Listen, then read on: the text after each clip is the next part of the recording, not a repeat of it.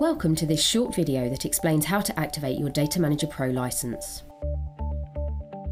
When you order a license for DataManager Pro, you will receive a license sheet like this containing your licensing information.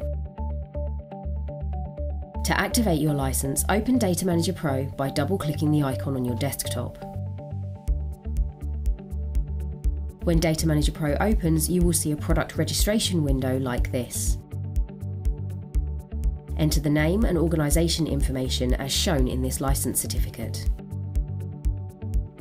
The name and organisation information are case sensitive, so make sure you enter the details exactly as printed on the license certificate. Now press the OK button and you will see the final registration window.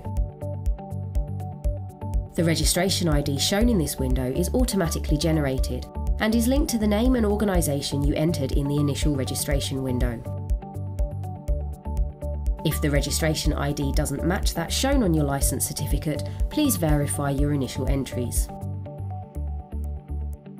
Now enter the licence key as printed on the licence certificate and press OK. Your DataManager Pro licence is now activated. Don't forget to keep your DataManager Pro licence certificate in a safe place for future reference.